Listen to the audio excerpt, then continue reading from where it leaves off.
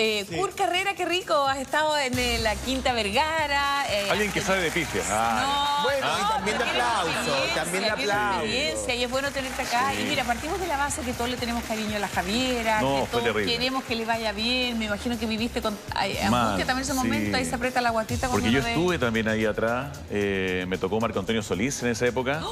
Y era terrible, terrible, porque aparte yo estaba en un personaje que es distinto a hacer stand cajarito. Cajarito, eh, tapadito. Pero uno quiere al cajarito igual. Sí, a, a nosotros nos funcionó porque tuvimos 15 minutos que la gente la, la tuvimos en un momento, pero después se nos, se nos diluye.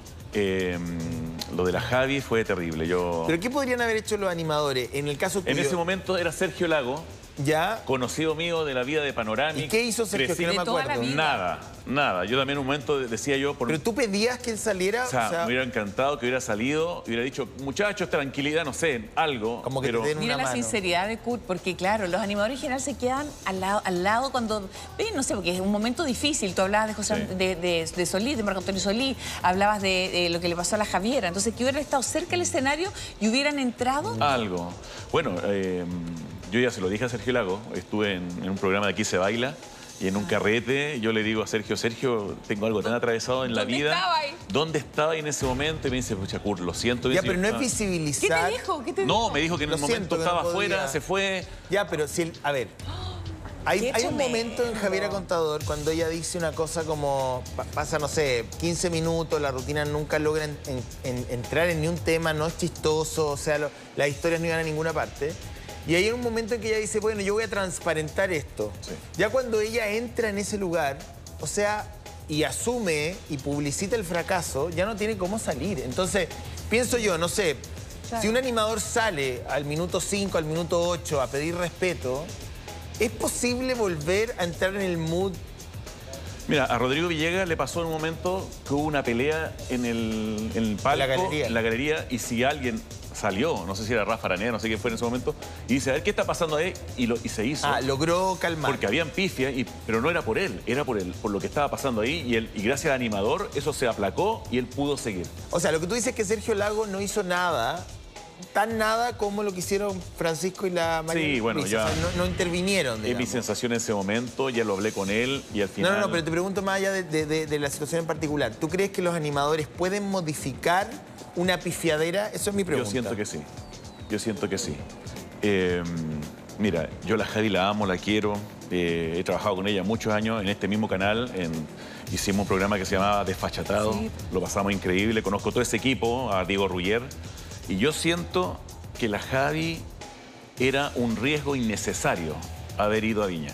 No debió ir, partir Yo, por eso. yo me enteré ya cuando la cosa estaba hecha, yo estaba en mis vacaciones, yo estaba haciendo otras cosas, no me pude conectar con ella para darle mi opinión. Eh, la Javi tuvo un año maravilloso. Estuvo aquí en este mismo canal haciendo Casado con Hijos, segunda temporada. Estuve yo también en ese algunos capítulos, lo pasé increíble. Ella tiene eventos todo el año, le va increíble, teatro, anima sí. el Tazor o anima el, el, eh, Chile Actores. Chile Actores. Entonces, El Caleuche. claro. cuando supe que iba a Viña, yo dije, ¿pero por ¿Para qué, qué? va a Viña? Ya si había estado, ya la había había estado, ido bien. ya ganó, lo logró, Claro. hizo algo espectacular. La hizo, la hizo. Y siempre las segundas partes, siempre en todo aspecto como en son complicadas. como en todo, amigo. Y aparte que en Viña uno no escoge el día. Pero la Alison también va por segunda vez. No, espérate, uno no escoge el día. Entonces le tocó Bocelli y uno dice, sí, Bocelli puede Ya, ser. pero a ver, mira, yo sé que tú la quieres, yo también la quiero y la queremos todos. Pero tú de realmente, yo escuché ayer la rutina, insisto, la vi de nuevo. Sí, Yo creo que independiente que antes hubiese estado Bocelli, o hubiese estado, eh, no sé, René de la Vega, o el Sí. que hubiese estado, digamos, la- la- la- el texto no era divertido. Sí. O sea, ella parte diciendo que Shakira, que canta en la ducha, después que al marido le compró un rodillo, un rodillo al marido Pero en lo que dice es algo bien importante, que es que se puede revertir eso. O sea, tú puedes retomar, calmarte, tomar agua que ni siquiera tenía. Más encima le pasan agua. Cuando pide Con agua, una botella. le pasan las botellas cerradas. Entonces, por eso, tiene un- que ella abrir y manejar. O sea, Yo era un hubo- desastre. No, mal. Hubo un millón de errores que, que causaron que a la Javi le fuera mal. Eh, primero, la pifia en, un, en, no sé, una semana, dos semanas antes, que ya empezó como a... a- En Coihueco. en Coihueco, a, remo- a remecer esto. Eh, yo he estado ahí cuando las pifias son tremendas y te dicen, con ustedes, Salomón y Tutu, y las pifias eran Pero a infernales. Luis Slimming también lo pifiaron en Chile Chico, yo estaba ahí y Luis Slimming también venía, quizás no de la temperatura Bocelli, pero venía de un maná que estaba pidiendo más tiempo y que no se le entregó más tiempo. O sea, ayer Luis Slimming entró, dio tres remates, pa, pa, pa, pegó tres golpes y ya está- tenía el público en el bolsillo. Sí, pero el público estaba muy, calma- muy calmado. El público lo estaba escuchando. Aquí uno entra, imagínate, con una sensación eh, tremenda. Eh, yo creo que su cabeza de la Javi venía muy nerviosa, que ahí yo no sé qué pasó a ella en su mente, porque ella es una mujer que tiene 30 años de carrera, eh, tiene... Yo, esa rutina, yo estuve con ella en el comedy, yo creo que con octubre, y presentó lo mismo, y eran, bueno, eran 160 personas y le fue increíble. Lo que, ayer me, lo que ayer me contaron a mí también reporteando en la radio en la tarde, Andrea, pon atención porque a lo mejor este dato tú me lo puedes confirmar. Que no sé si sea así, pero hablé- lo hablé ayer con gente especializada en la infinita. Parece, parece, lo pongo en condicional porque no lo sé, que ella ante la situación adversa, y esto explica un poco que ella no, no lograra el texto tener sentido, porque ella empezó a editar el texto mentalmente. Eso es lo que me dijeron ayer en la tarde. Acomodó el libreto. Empezó a acomodar el Ya. libreto Sí. al Ya. aire. Ya. Sí. ¿Te fijas? Entonces, como cachó que no le estaba yendo muy bien, dijo, me voy a ir a las, a las- a las partes de la historia que siento que pueden funcionar Y más. después meto la familia Y empezó, a, Larraín. empezó Claro. a hacer cenar un poco el texto Sí. y, y eso, más la, la- la pifia, más la edición mental, Más su rapidez. más la rapidez, más el agua que no se abría, se hizo una, una Pero en ecuación general brutal. los humoristas, los comediantes, los pero hacen eso, editan, justamente Sí. a- a- Pero- empiezan a leer ¿sí? lo que pasa con A mí el me parece que público. Luis Slimming fue súper ordenado. Eh, Andrés, tú tienes ahí un, un elemento, a ver. Sí, mira, efectivamente eh, eh, lo que pasó con Javiera Contador es que ella llegó afectada a la Quinta Vergara. Por lo tanto, ella ya partió su ¿Qué le rutina pasó? Porque eh, con una dice, "Yo confusión mental. mal". eh, donde, donde... Sí, yo vengo mal porque Sí, acusa ese golpe. le pesaron las pifias de que ocurrieron, ya pasaron casi dos veces. Si lo con Hueco pasó hace mucho tiempo. Lo que pasa es que en la prensa se conoció este tema hace dos semanas, previo al Festival de Viña del Mar.